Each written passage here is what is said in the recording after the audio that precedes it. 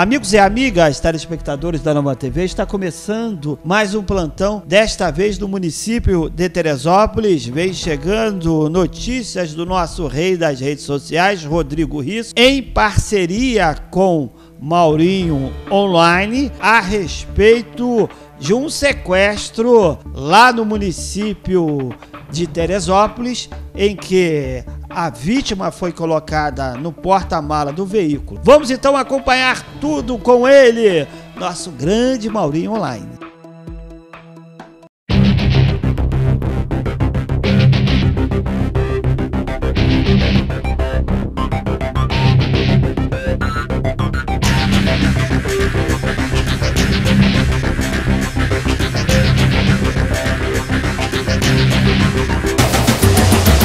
Já tinha informação do possível sequestro, né, dando conta do envolvimento dela com o tráfico.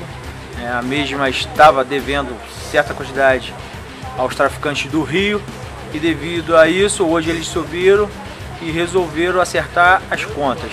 Né.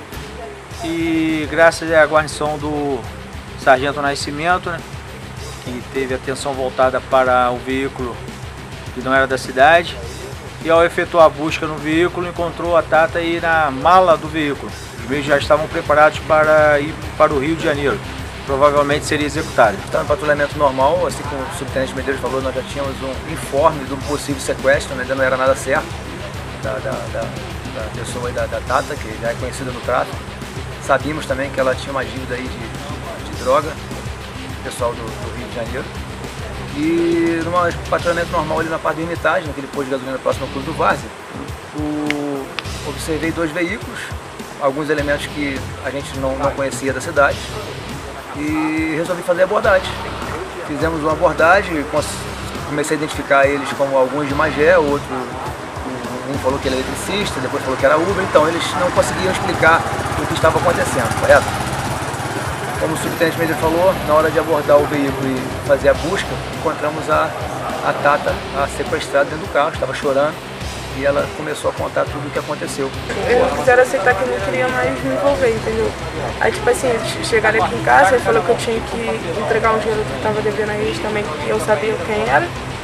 Aí eu não quis, eu falei assim, pô, não vou entregar ninguém, porque da mesma forma que eu não gostaria que ninguém me entregasse, eu não quero que ninguém falou, aí eles me pegaram, ia dar 4 horas da tarde, ficaram falando que ia me estupar, me levaram lá pra Pedra da Tartaruga, me pegaram uma, um fio falando que ia me enforcar, que ia me botar pra pular de lá, me deram um soco aqui, ó, na boca, me deram outro aqui, outro aqui, me deram um tapa e uma quenada na cara.